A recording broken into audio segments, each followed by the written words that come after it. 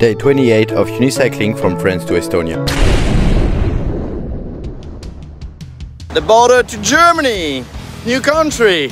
I just passed the third border of my trip and went from Netherlands to Germany. And I got to say that the transition was not easy. Bye bye, the great Netherlands cycling band. First interaction I had with a German is that the old man driving straight on me on his scooter, telling me like Verboten Fahrrad, Verboten Fahrrad.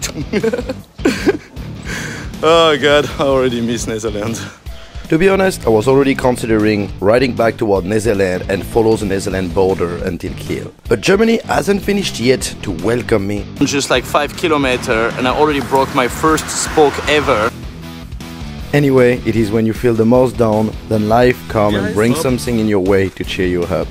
And this cool German gifted me this green ball to bring my smile back.